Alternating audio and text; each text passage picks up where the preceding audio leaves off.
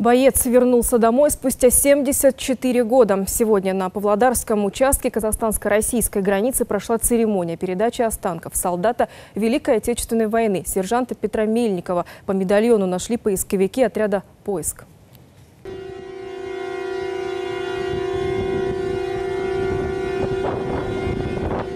Уроженец села Байгунус Качирского района Петр Мельников ушел на фронт добровольцем в первые дни войны. Теперь уже точно установлено, что сержант геройски погиб в ожесточенном бою под Калугой в феврале 43-го.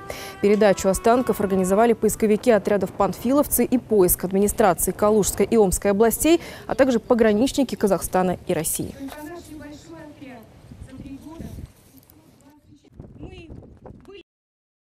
Они держали свои высоты, если сегодня мы оставим их там, они же не предали свою родину, они спасли, они сохранили, и своим возвращением они сегодня служат всем странам, всему миру.